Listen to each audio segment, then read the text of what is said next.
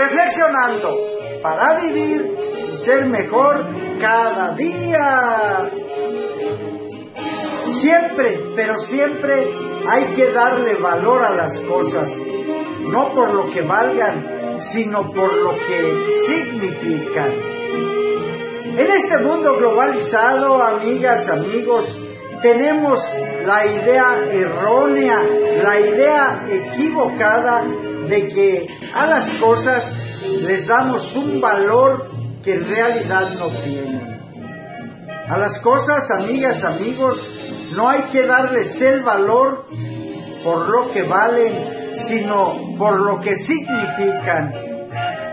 Las cosas tienen un valor no material, sino que tienen un valor sentimental, un valor intrínseco, que es lo que las hace valer en realidad. Por ello, amigas, amigos, siempre, pero siempre hay que darle valor a las cosas, no por lo que valen, sino por lo que significan.